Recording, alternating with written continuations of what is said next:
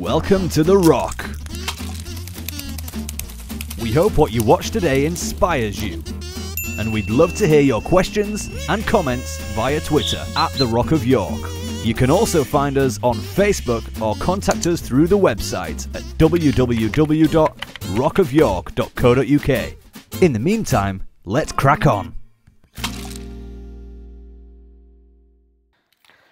So, um, I have a little apprehension of what I needed to talk to you about tonight because part of it is about this thing called money that everybody has and everybody's running after, but nobody wants to talk about it, even less have somebody else to talk about your money.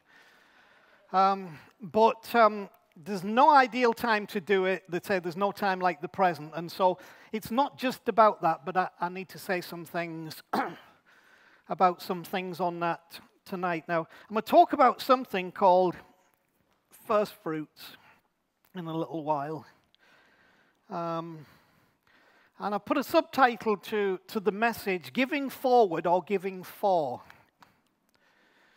Because sometimes we can be caught in the trap of giving for a need that we have been presented with but the Bible never promotes that way of giving. The Bible always promotes giving forward, which means that you give towards what is going to happen, not to support what is happening or has happened. And that's the whole message of Jesus on the cross God giving forward for what would happen rather than waiting to see what he should give at the end. And we'll, we'll talk a little more about that. Now, um, a guy who I, re- I respect very, very greatly and many things he said have influenced my life. There's a guy called Paul Scanlon who, uh, for many years, led what is now Life Church in Bradford.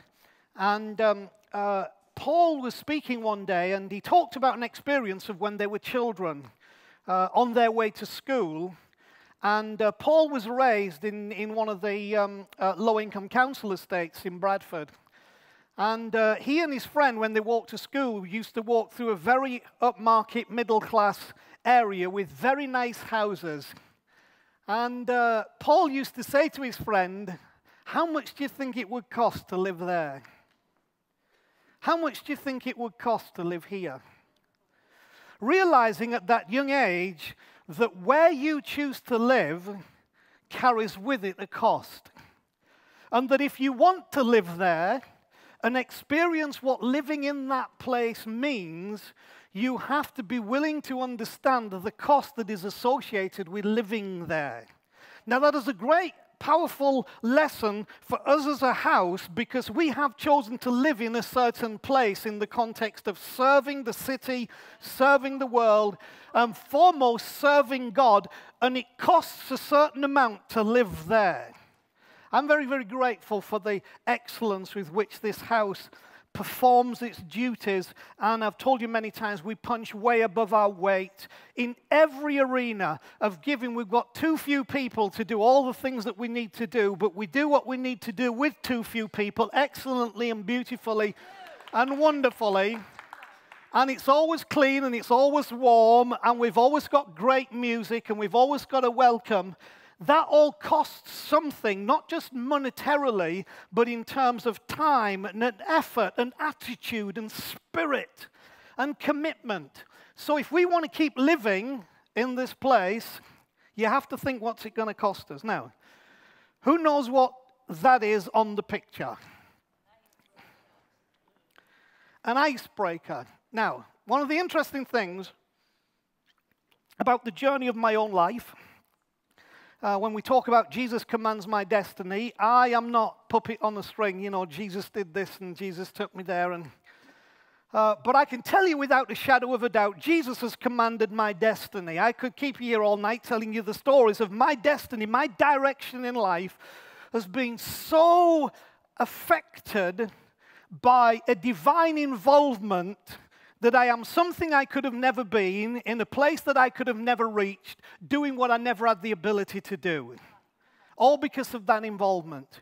And one of the things that's happened along the years is something that we call prophecy. Now, if you're not a Christian, it's kind of the Christian version of horoscope and fortune telling, uh, which some of you won't like, but I've got to explain it some way, haven't I? it's, if, if you're kind of not been wired in Christian thinking, you think, prophecy, prophecy, what's that? Well, uh, I actually think it's true and it's better than, but, you know. Um, and one of those things that's happened is, is people have said that, that, that your calling, your, your reason for being is to be an icebreaker. Now, not in the sense of a, you know, icebreaker. Hi, Joel, how are you? Nice to meet you. I haven't met you, but not one of those kind of icebreakers. But I mean, an icebreaker who breaks paths where paths have not been broken, right? And we've also had that same uh, context transferred and related onto us as a church, as a people, that we are an ice breaking church. And let me tell you, we are. That's why, baby, it's cold outside. That's why you get a frosty response to some of the things that we're trying to do because we are breaking ice. And so I wanted to say a few things about this. Listen to me very carefully. Icebreakers are noisy and expensive to run. They do not carry passengers and they are unstable in open sea. Their sole job is to make a path for others to follow. You may call that undesirable, I call it purpose. I call that doing something from which others are the primary beneficiary. I call that pioneering. I call that boldness. They sometimes get stuck, but they carry on doing what they were designed to do. And this is the Rock of York, and all who sail in her. God bless the Rock of York. So, I want to talk to you about keeping the icebreaker on the go and at sea in this noble purpose to which God has called us that we are not a passenger liner, we are an icebreaker, and we make no apologies for that process, but invite you to be part of the crew. And so, I want to use a real prosperity gospel scripture to you tonight. It's in the book of Habakkuk. Who calls the kid Habakkuk? Well, his mother called him Habakkuk, and he wrote a book in the Bible. Um, he goes under the distinction of being one of the minor prophets. I hate all that. Major prophets and minor prophets. You're a prophet, but just a minor one.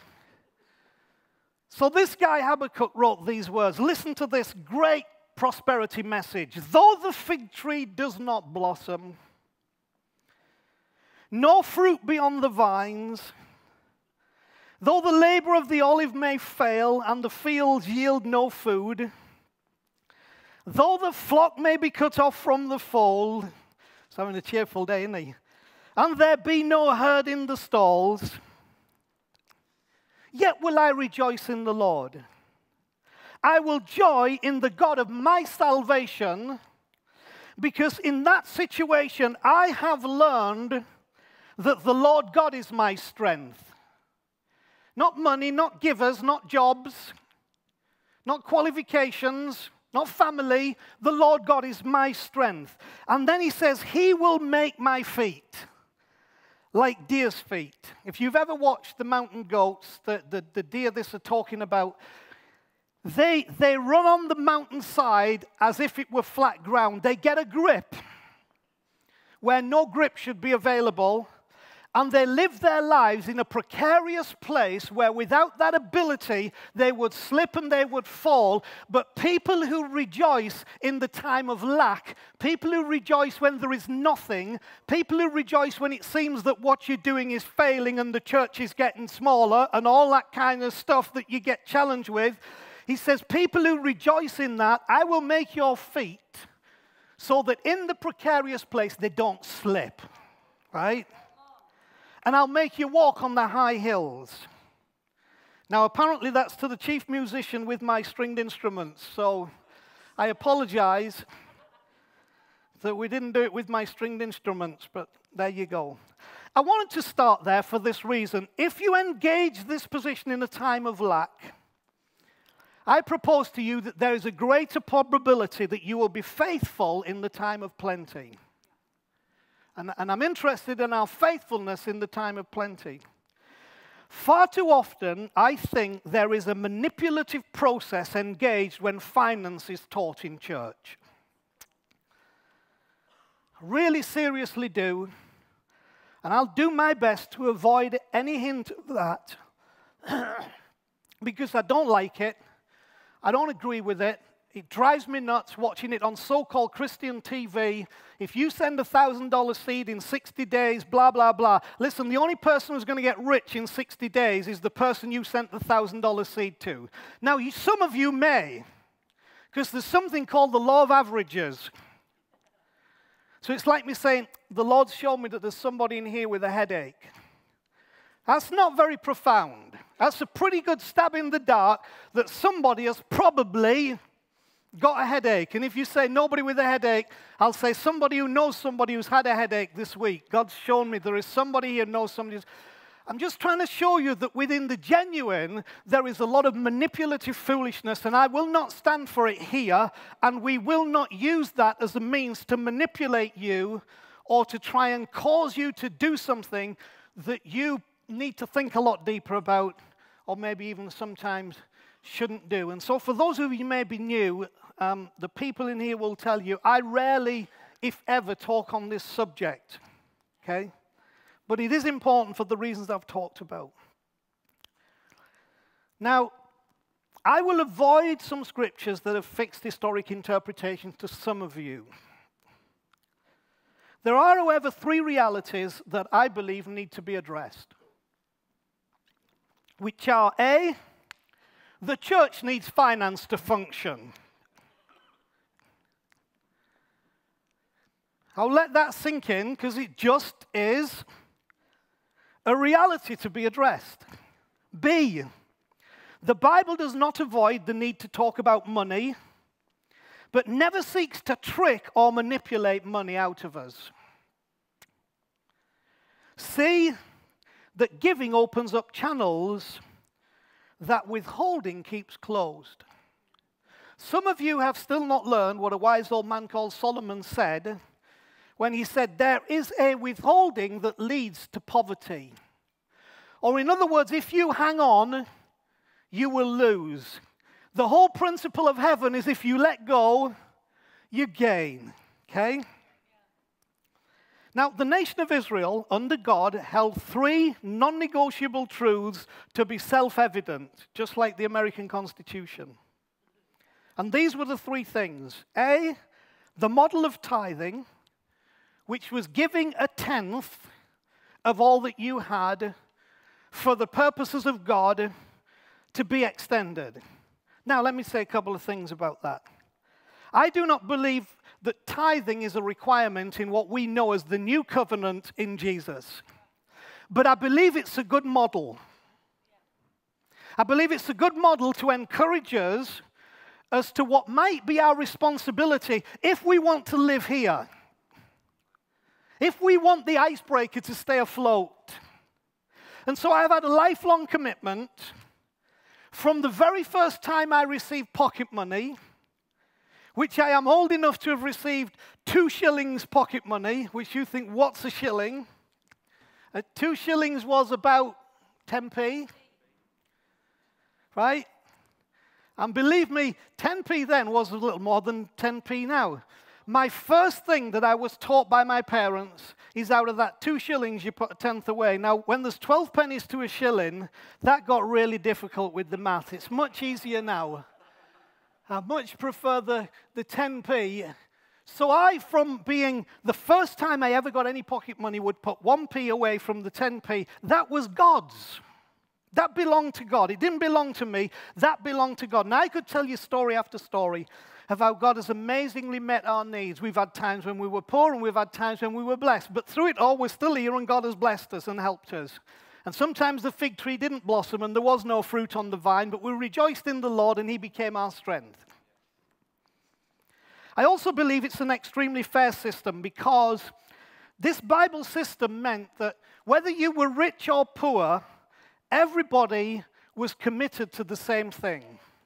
Because a tenth of a million pounds is no more in, in, in percentage than a tenth of a hundred pounds or ten pounds or fifty pounds. So God, in His goodness, said, This is how we're going to help this thing to move forward. And I would like you to consider giving a tenth of what you have, right? Not about amount, in order that there might be what the Bible calls meat or food, or so we can live here, right? The other non negotiable truth that was self evident was the importance of offerings. I have believed all my life in offerings above the tithe. So, not just, not just myself. And again, I'm not putting any pressure on you. I'm telling you how I have lived and we've done okay. Um, offerings were above the tithe. That was something we gave over and above in order to be a blessing, to be a help, to assist, to provide, to work, to, to enable, to equip. And we did that on the principle that, that uh, if you give, you will receive. And Jesus said, with the measure you give is the measure it will be given back to you. So there are principles here that we can wrestle with that were to the nation of Israel self evident, something they held to, that I don't believe there is a legal requirement for us to do any of these things. But I love God. I love people. And I love this house. But I know what it costs to live here. So I do it out of love, not out of law. And continue to believe God that even if the fig tree doesn't blossom, if I rejoice in the Lord, He in the precarious place will help me to walk through till I get past the mountain into the high place of, of His blessing. But then to see, there is another third thing that was a non negotiable truth, and this is the importance of who should get the first and the best. This is probably to me the more important of all three of these. Who should get the first and the best? Now, one of the issues that we have to resolve for some of you, because I was wanting to sing tonight, Chris had it down that was running through my head. I worship you, Almighty God, there is none like you. But for some of you in here tonight, you can't honestly say, there is none like you. Your experience of God is still defaulting to something that doesn't allow you to say, There is none like you. So, because of that, God doesn't get the first and the best, He gets what's left over. So, coming back to how we have organized our giving, and again, I'm not putting pressure on you, I'm just telling you how we have done. God gets the first, and God gets the best. Not after we've paid this and done that and gone here and gone out there and fixed this and done that, where we'll see what's left and kind of we'll chuck a little bit God's way. Isn't it funny that we don't want God to act that way towards us? We want God in our time of distress to give us the first and the best, to give us his attention, to step up into the gap for us? Well, I suggest the love relationship says that we give him the first and the best. So for me, the greatest principle in this is not tenth, it's not offerings. It's about saying, God, I want you to have the first and the best of my life. That doesn't just mean money, right? It's my heart, it's my attention, it's my focus to give God the first and the best. I was always taught that if you give God the tenth, the nine tenths will go further than the ten tenths. Um, my experience is that's probably true, but in all honesty, I've never sat down and worked it out and worried about it because that's never the reason why I was given. I was never given so that the nine tenths would go further than the ten tenths. I, I, was just, I loved God and I wanted to give God the first and the best. And if it worked out, it worked out. And if it didn't, it didn't. But that wasn't my fault. I trusted Him enough to know if I give you the first and the best, in the end, it will go well with me. The first and the best. So let me say two, two other things here that. Um, because giving such a funny subject, and, and, this works for all of our life, it works for everything other than money. Um, first of all, in ministry, most of the people who say, you know, tithing's not necessary, tithing's not important, which I don't think it is important in the sense of law, but I think it's important in the sense of what it costs to live here.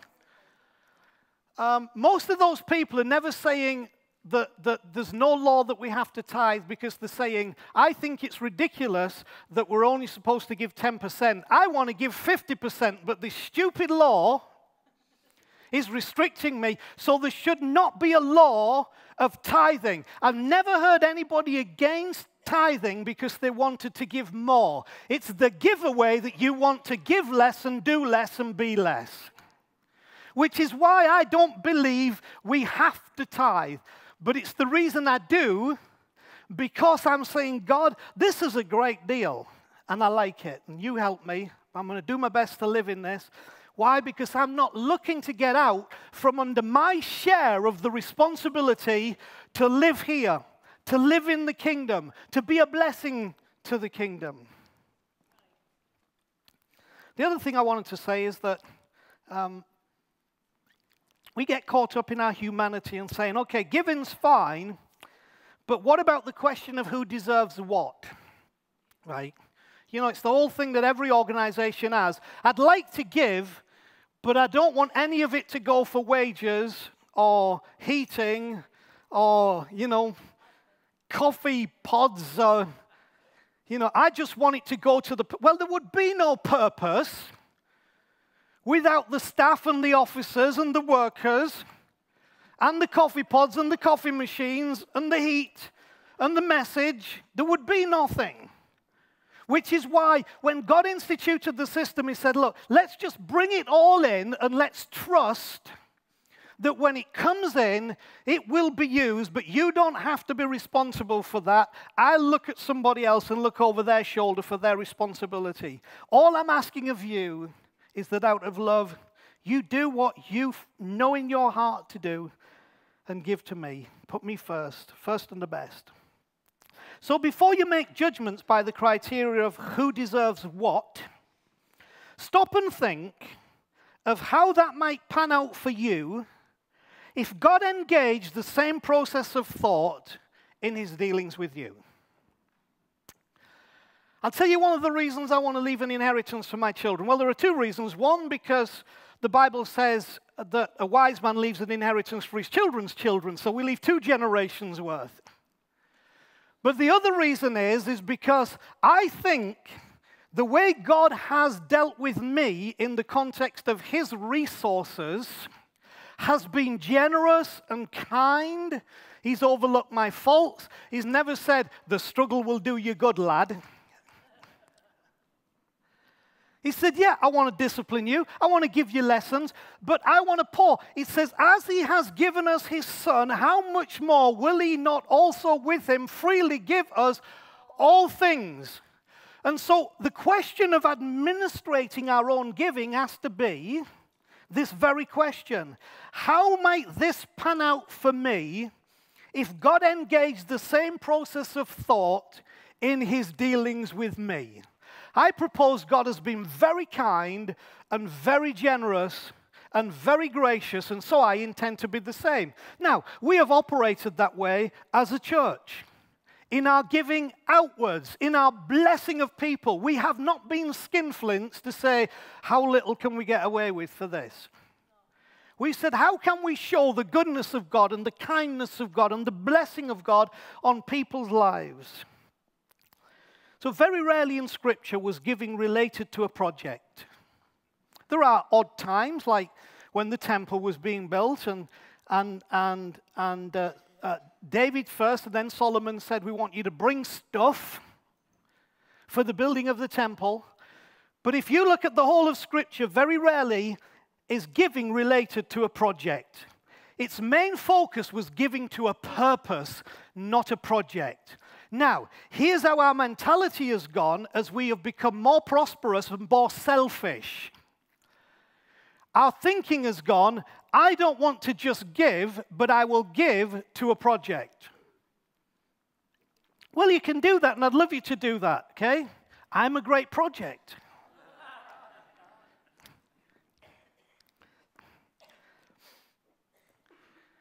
The essence of Scripture was always giving to a purpose. We believe in the purpose that is being pushed out in the gospel. Therefore, with all its necessities and needs, we want to empower that to be able to do what it's supposed to do. So we are giving to a purpose. I don't ever want to have to come to you and say, okay, the only way we can get you to give is here's the specific issue, here's the specific need, here's what we're specifically going to do. Because then you are are giving to the project, but you're not giving to the purpose.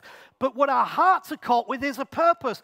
God so loved the world that he gave. It was not a project, it was a purpose that is still ongoing, and God still gives to the purpose. You are the purpose. Now, do I believe there's a correlation between giving and being resourced? The answer I would have to say to that is yes. But to balance that, I would also have to say that the success of Colombian drug barons dismisses the notion that all abundance is the result of the blessing of God and that therefore not living in abundance is somehow an expression of your lack of faith or you're missing the purposes of God. Because if being successful is how we measure the purposes of God materially, then there are drug barons who are much more successful than Christians in business or, or in high flying positions. Let me shock you with something skills and luck mostly determine what we get. Put that in your pipe and smoke it. Skills and luck mostly determine what we get in life. Now, the Bible doesn't use the word luck because it's too spiritual to use the word luck in its translation. So it uses this word time and chance happen to all. Chance is a nice way of saying, hope you get lucky.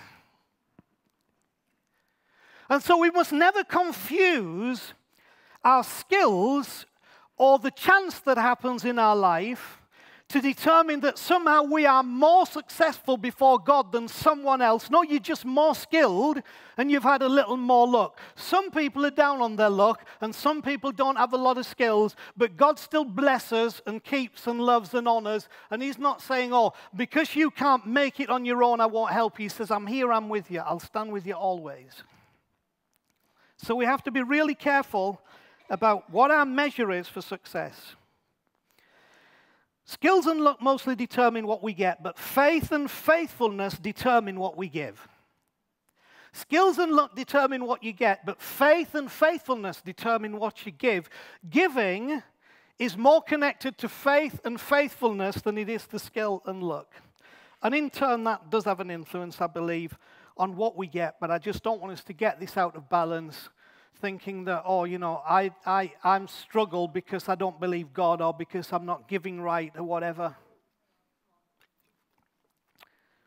You know, and that's why, again, I hate these programs. If you give a $1,000 seed, you know, uh, you'll be out of debt. It's like, I'd like to be able to say to you tonight, if you'll give me a $1,000 seed, you will be out of debt in 60 days. Well, guess where I'll be in 60 days? The Bahamas on the beach, looking for another crowd as gullible as you. Do you understand what I'm saying? I don't think it honors God. Now, it can be true, but mostly, mostly that kind of approach is manipulative and destructive, and I don't like it, and you're not going to get it from us. And you'll see why when I finish tonight.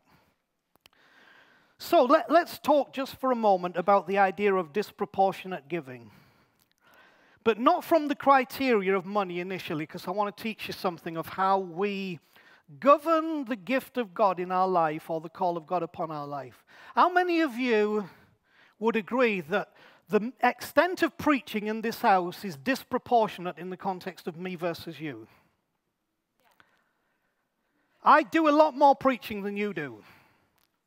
But that's not a problem because I'm supposed to. Because some of you would about die on the seat if I said to you, right, you're coming up here to preach. Amanda, you're coming up here to preach. Off you go. There you go. Here's a Bible. Have Bible will travel. Off you go. You would freak and die. Why? It's disproportionate because it's my gift, and therefore my gift makes my, my, my investment disproportionate. So let, let's look at another thing. How many of you think Danny plays the keyboard too much in too many meetings? Other than Danny and Amy. So, who would like the responsibility of that? So, would you agree with me that, that Danny's gift into this house in music is disproportionate to the rest of us? Or Joel with the singing, or Chris with the singing. And so we could go on in the different areas that there is disproportionate because there are gifts and callings that we are responding to. Now, likewise, in the issue of money, it shouldn't be that there is a balance across the house. It should be that some of us are giving a lot more than others. Now, I believe one of my responsibilities is to give a lot more than many of you and try to do that because of the level of blessing and the gift and the calling and what I believe. But when we get in the area of, oh, I'm probably doing too much, you know, if Danny came in on a Saturday and said, well, I'm playing too much, so I'm not going to play tonight. Or Chris and I and, and Joel and Jenny said, well, we preach too much, so just, you know, can't be, we're not going to do it tonight. There would be lack because we are not fulfilling the call of God and the role that He has given us, right? So we step up. So, in every area of gift, whatever your gift is, it might be that you're the friendliest person in here and that your meeting of new people is disproportionate to mine. It's supposed to be. You have that gift. I am fascinated by Graham Grant. Talk to flipping anybody anywhere about anything, and I'm like, I don't know how you do that, Graham. But he does it. Why? So, disproportionately, I would lean on Graham in an environment where there are new people and different people because of what he is. So, what I'm trying to say to you, we can't make this thing a big mosh in the middle and say, oh, well, phew, this church relies too much on my preaching, or this church relies too much on my music, or this church relies too much on my kids' work or my youth work. That's how it's supposed to be. So be faithful to the gift that God has given you. Okay, so I don't want to go too long. So our objective is equal giving, not equal sacrifice. And equal obedience. So, first fruits. Reason I want to focus on this thing called first fruits in the Bible is because it's giving focused on that which is yet to come. Right? It's not giving for what has happened or giving for what is. It's giving that's focused on that which is yet to come. That's why first fruits was so important. Because you say, well, why are we giving first fruits? We're giving it for that which is yet to come. Well, what is it? I don't know because it's yet to come. But somehow it allows what is yet to come to actually come. Right? It's very powerful. What's fascinating to me is that the Jews, the Israelites, had a feast called first fruits. And in the first fruits, they would bring at the beginning of the harvest, the first shoots that came up, the first bit of harvest that came up when most of the field was empty, they would take those first few grains and they would bring them to the house of God and they'd give them to the priest and he would wave them before God. And they were saying, Ha, something's coming and we are giving in order of what is to come, focused on that which is yet to be. The fascinating thing is, Jesus dies on Pas- Passover day. He is in the tomb on the Saturday, which is the Feast of Unleavened Bread, which I'll talk about this Wednesday night, Wednesday after this. And then he rises on the first day of the week. Guess what feast day it was when Jesus rose from the dead? It was first fruits. And as Jesus is rising from the dead, the dear old priest is there in the temple with the sheaf, the first fruit sheaf, waving it before God to celebrate what is to come. And that's why the Bible calls Jesus the first fruits from among the dead. In other words, Jesus was saying, if you catch this spirit, you are giving focused on that which is yet to come. Okay? Its root is resurrection, it's life from the dead. So, some quick Bible verses so you know that I'm a Bible versey preaching people. Proverbs 3, verse 9, which is a common one that people use and can, this is a good manipulator one if you want it. Honor. Proverbs 3, verse 9 Honor the Lord with your possessions and with the first fruits of all your increase. So your barns will be filled with plenty, and your vats will overflow with new wine. Now, I don't want to press that other than there is a correlation and a connection, so I'm very interested in first fruits. Exodus 23, verse 19. The first of the first fruits of your land you shall bring into the house of the Lord. Where? To the house of the Lord your God. Right? And then you shall not boil a young goat in its mother's milk.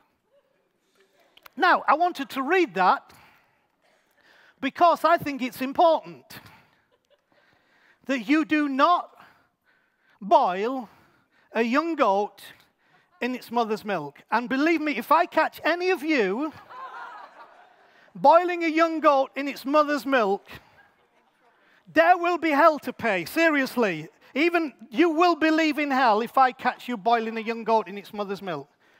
I love the way the Bible throws these things in. It's like, don't murder, don't commit adultery, and don't covet your neighbor's donkey as well. It's like, that's kind of, you know, we're over in, oh, and his donkey as well. That, you know, I, I think it just lightens the atmosphere.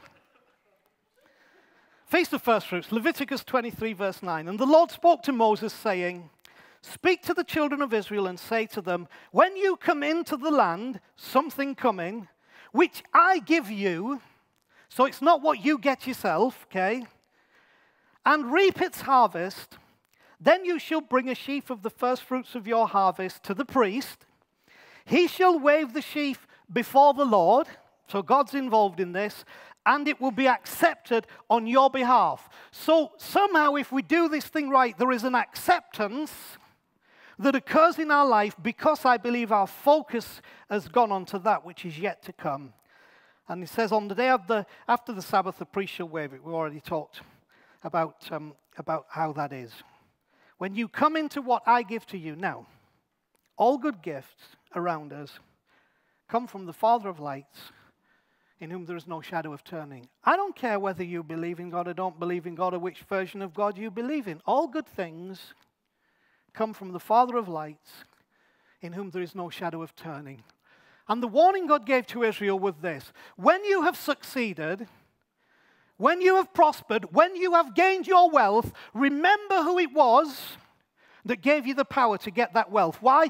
Because the more we succeed, the greater the tendency to forget the beginnings and how we were influenced to get to where we got, and somehow feel that God's a partner in this, but I'm pretty special too. Rather than he's pretty special, he very graciously lets this Dumbo partner with him and uses my skills as part of the process. So, I'm nearly finished. Is that all right? So I want to I want to really press this because I'm, I'm going to ask you to give a first fruits offering, but I want to talk about that in a moment, okay? A giving focused on that which is yet to come.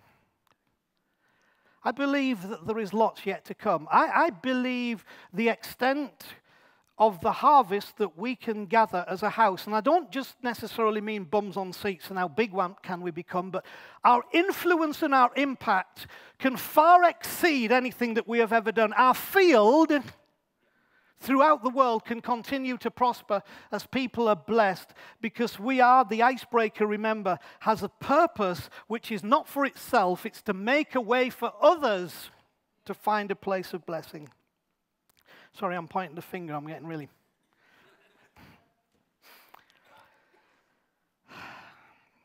So let me say this to all of you, because I'm not telling you what you should do. Um, I like to tithe, I think it's good. Why do I tithe? Because I know what it costs to live here. I'd like you to think about if you know what it costs to live here and you like living here, that you'll take your part in that and see the same miracle of God upon your life. But we'll never press you, we'll never pressure you, we'll never demand you. We don't check any records, which I know some people who do. Imagine that, knowing that your pastor every Monday morning checks the giving records to make sure you're tithing. I can't. You think of anything more scary? We won't do that. Reason we won't do that is this: we've never had enough to do what we needed to do all the time that we've done it.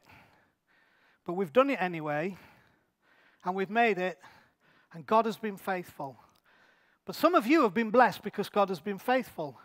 So that God in His faithfulness can help us through the blessing that comes on your life. I'm like, hey, if that's how it works, I'm ready, I'm happy. Here I am, Lord.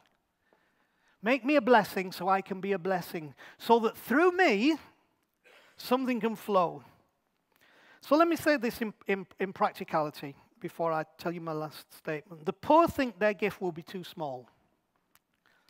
I just want to encourage all of you, wherever you are, in faith, on this, challenging this, because I, I, don't think there's anybody really who's connected to the house. Some of you guess. I love you being here. I'm sorry I'm preaching about this tonight, but then again, I'm not, because I think it's right.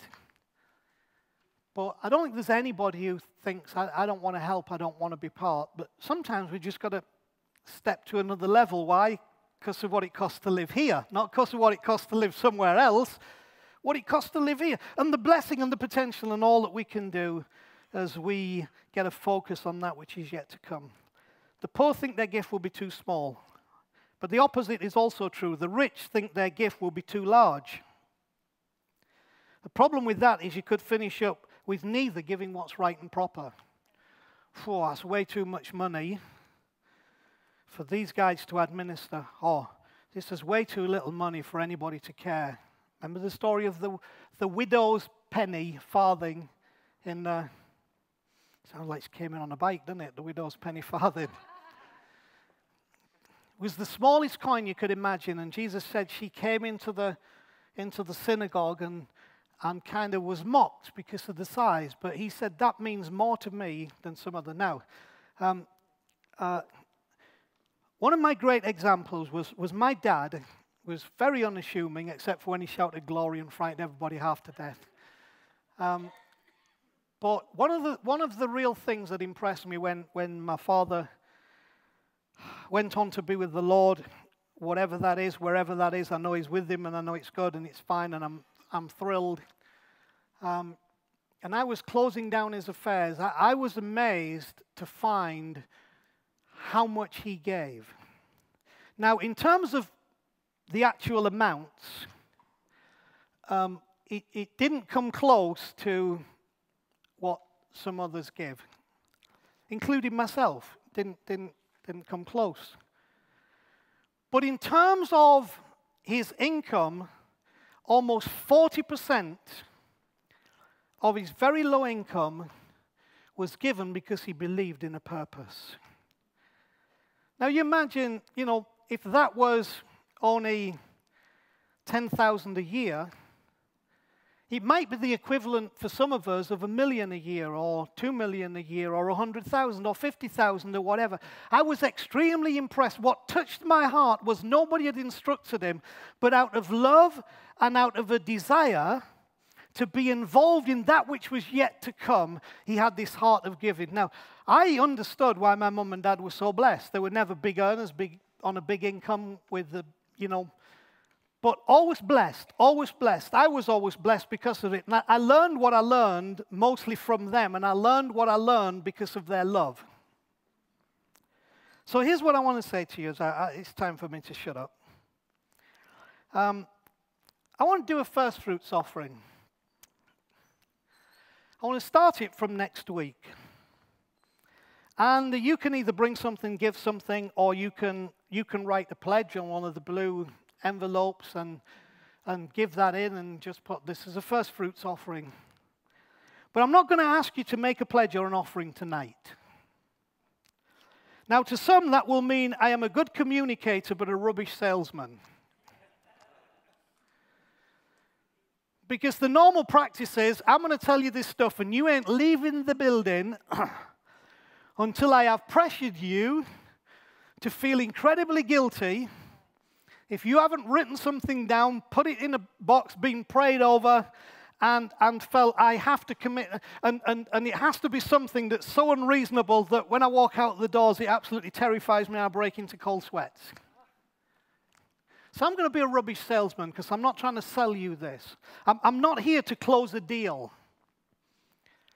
I'm here to invite you to be part of, of a process. That process is the process of first fruits. The process of first fruits is a focus on that which is yet to come. We're not doing it because of what we see, we're doing it because of what we expect to see and what we are going to see in increasing our harvest. And so here's the rubber, it's the road thing. How much would I like us to do? Well, let me tell you what we need in the next six months, okay? Not 5,000, not 10,000, not 12,500, not 14,764 pounds and 19 pence. 100,000. Our commitments, our involvement, our giving, our projects are huge. Which is why I'd never come to you to say, this is what it costs to live here, because I don't want to frighten you. But I want to bless you by saying, isn't it amazing that having never come to you and said, do you know what it costs for this to happen for 12 months? God has provided all our needs so that we can be a blessing and He will continue to do the same. So, I'm saying to you, that's what we need for the next six months. But I want you just to weigh that in your heart and next week, when we come back, or the week after, for you to say, okay, I feel that I, in my desire to see what is to come, this is what I want to give, or this is what I want to promise. Now remember, size is not the issue. Right? How much is not the issue. Heart is simply the issue. So nobody feel under pressure. Nobody feel condemned but everybody feels blessed because I want to tell you, all blessing that we have in this house gets shared in the house, and everybody will be blessed and nobody will be condemned. But we all live and succeed together because God is with us. So I want you to have a think because for some of you, this is a moment. And I felt, if you understand this terminology, and I don't mean this manipulatively, I felt God spoke to me to share this message tonight. So I've shared it. And you can go and forget about it if you want. Bad salesman that I am. Or you can catch something of the spirit that we've talked about and said, yep, yeah, you know, I, I really think for this icebreaker that, that, that I like living here. I want us to keep living here. I want us to keep breaking a path for others. And in view of that, here's what I think I'm going to do. Is that okay? Wonderful. So I'm going to get Danny to come to the piano. It's seven minutes past eight. But I want us to sing the song that I mentioned earlier. You guys can come and help if you want. Um, one of the reasons I want to do this is that Chris and I, totally independently of each other this week, were processing some thoughts and uh, we both finished up at a point that we shared with each other, which was about worship. And where worship is focused when worship is worship. And this is where it's focused when worship is worship. It's focused on there being none like Him. It's focused on us coming to a place where we recognize that, that there is no shame, no guilt, no demand, no condemnation. But there's none like him. And out of that association and that link is where we begin to focus our hearts. Because you can't make yourself righteous. You couldn't give enough to be righteous, but it says, You are my righteousness. You are my righteousness. So we're going to sing this a couple of times before we go tonight. And as we worship Him, if that worship extends to you thinking, yep, I'm in on this first fruits thing, fabulous. And if it doesn't, we'll love you exactly the same. So come on, I want you to stand with me just, just, just for a moment. If, if you like to, just close your eyes just for a minute. Find that space where God is almighty to you, where He's precious. Find that space. Find that space.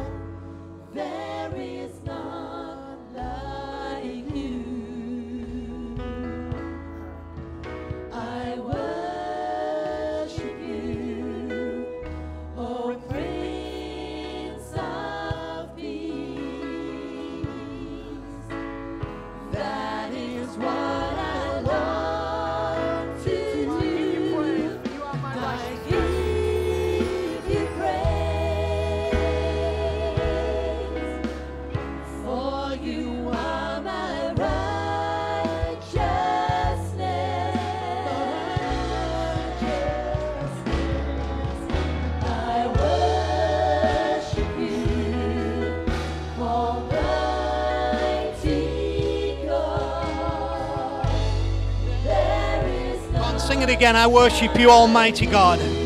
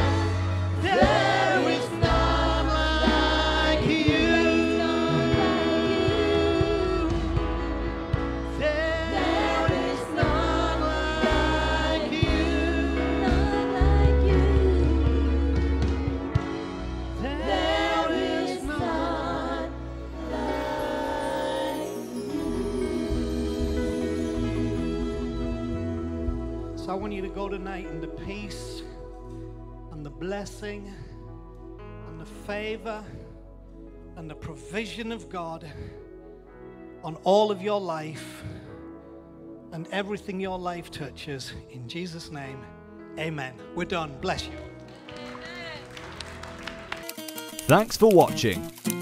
You can find out more about all the Rock is doing locally and internationally at www.rockofyork.co.uk. And why not support The Rock from wherever you are? Just hit the donate button now to help us help others.